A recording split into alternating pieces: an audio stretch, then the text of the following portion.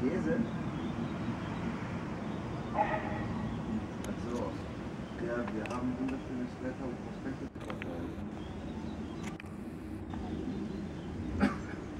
Wie lange brauchst du? Hast eine, halbe Stunde.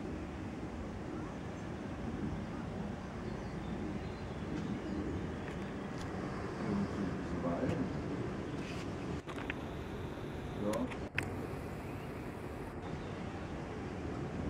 Nein, jetzt nicht. Dann müssen wir das heute Abend warten. So. Wir müssen noch ein bisschen.